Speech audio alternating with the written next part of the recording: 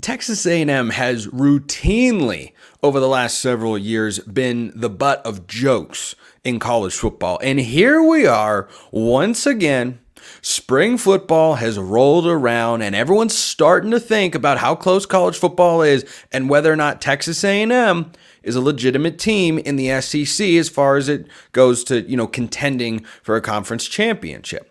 Do you know the last time Texas A&M put a double digit number in the left column? That's the win column. Do you know the last time? 2012. Mm. Mm.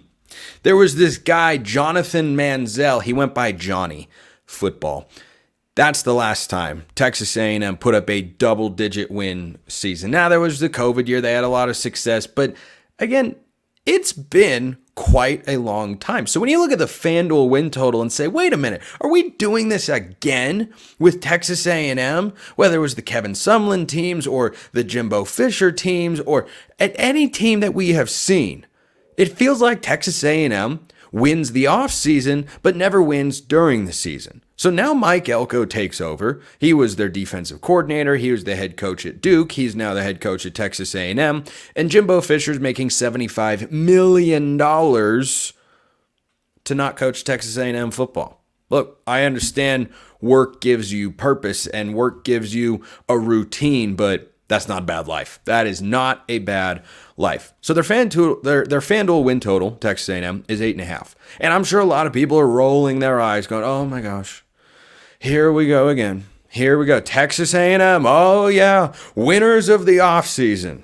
Is Mike Elko that sort of guy? I will not speak for uh, Zach Blackerby. He spoke for himself earlier on the show and whether or not he thinks Mike Elko is any good. We're going to find out this year how good Mike Elko can be.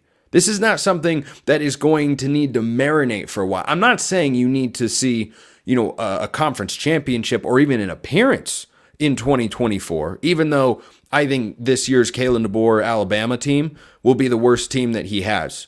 I think they're going to be good, by the way. But year one, there's going to be a transition element. There's going to be an adjustment and whatnot. So Alabama is about as down as they are going to be relative to Alabama standards. They're also not on Texas A&M schedule.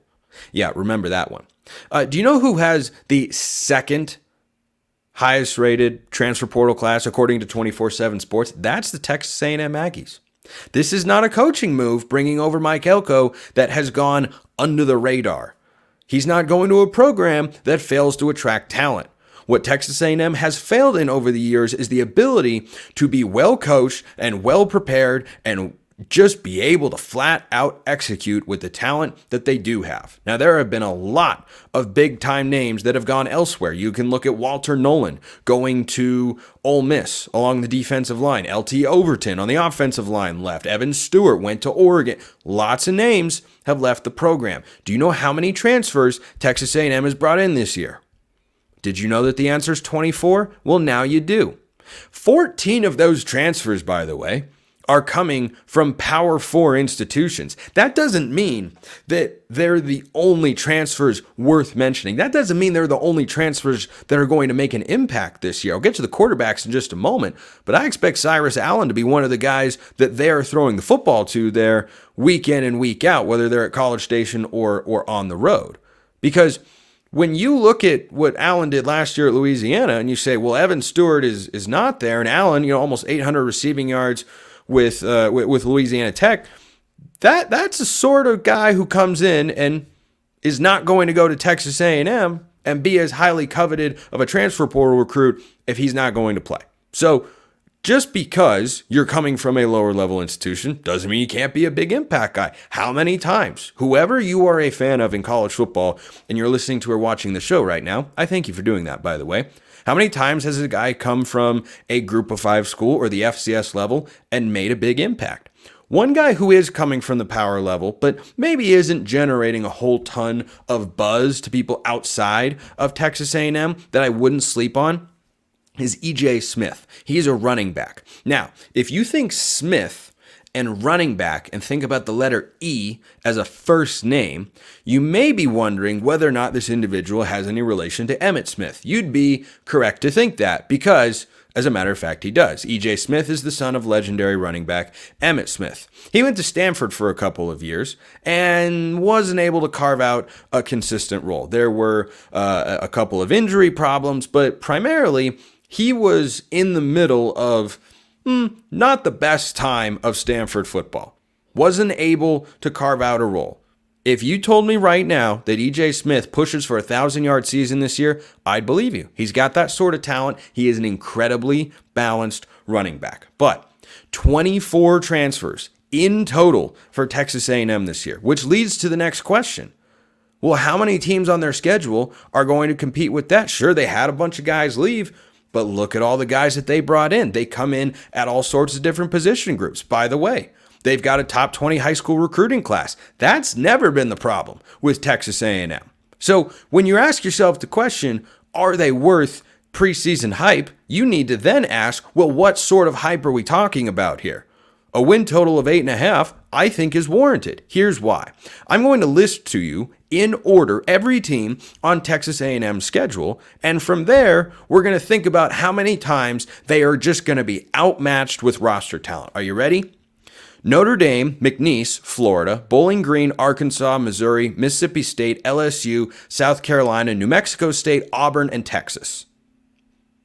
How many of those teams, when I listed them, jumped out to you as, oh my gosh, they have way more talent than Texas A&M?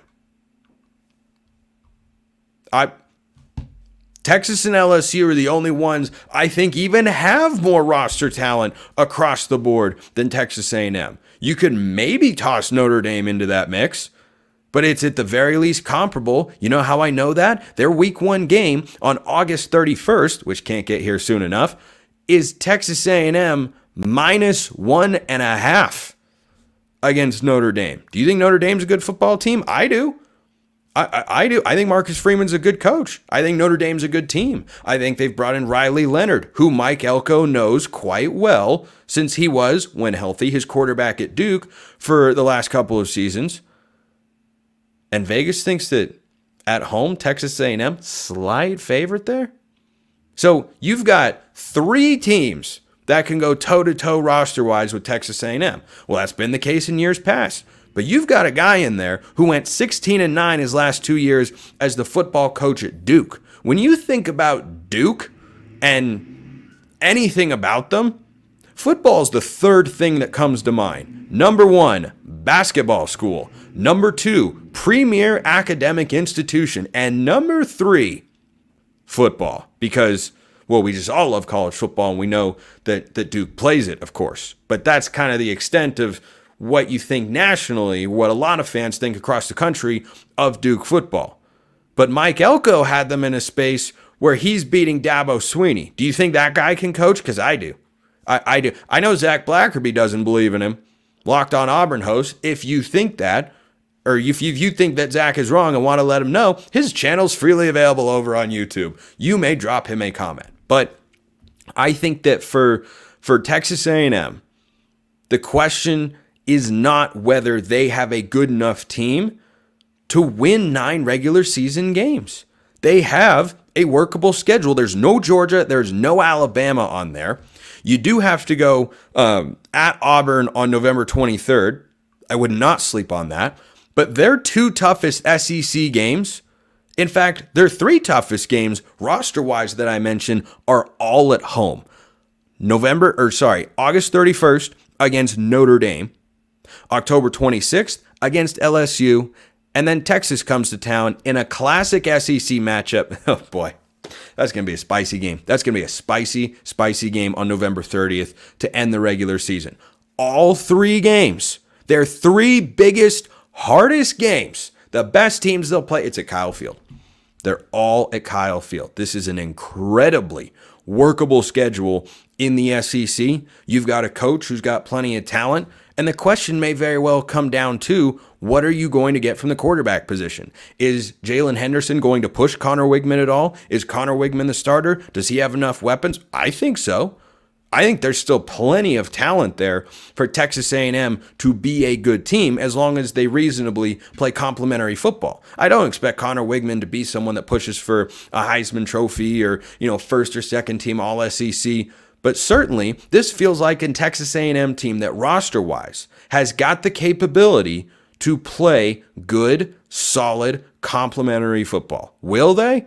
That that's going to come down to every individual Saturday that gets played this fall and whether they can execute. But are the pieces there for this to be the year Texas A&M pops? I got to tell you. We watched Purdue play in the national championship game yesterday. They'd had their struggles in the tournament. And it all came together. How many people going into the tournament? Me. It was me. I said, refused to pick Purdue because, well, they haven't done it in the past. Well, that doesn't mean they weren't capable. That just means they didn't. Appreciate everyone listening. I'll see you next time. And until then, hope you have a wonderful rest of your day.